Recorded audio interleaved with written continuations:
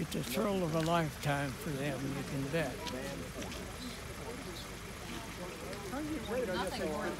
How did it feel being back in the plane? I got me a new phone. What's Quite up? wonderful. really. I never dreamed I'd ride in one You again. better smile and act Never. like you was glad to be here.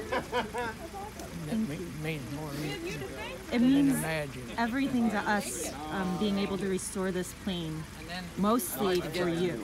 Not just for us to remember the plane, but more so for you to be able to experience this again, you know? Well, i'll tell you what. I just really can't describe it. It- it's, uh, I'm not usually emotional, but I'm pretty emotional today. Mm. Thank you. And I thank all of you people for what you've done for me. Well, thank you for what you've done for us. Places, faces, equipment. The last question I want to ask you is why is it so important for us to remember D-Day? To remember this, To remember D-Day? Because that changed the whole world. People don't realize what could have happened, and people don't realize we damn near lost the war.